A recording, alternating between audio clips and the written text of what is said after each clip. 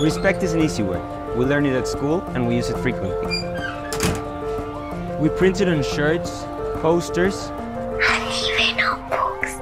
We claim to know it, but do we really understand it? We claim to know it, but do we give it the importance it merits?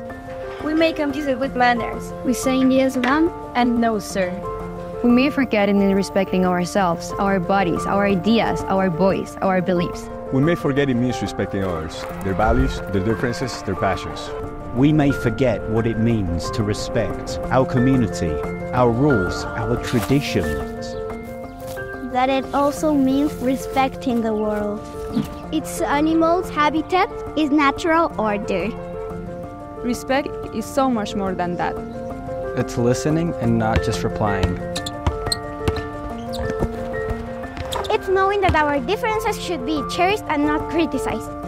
Or that borders are just lines on maps. and not divisive topics. It's knowing that change must be for the better, not just for change itself. So we believe that respect, the true version, must be the way.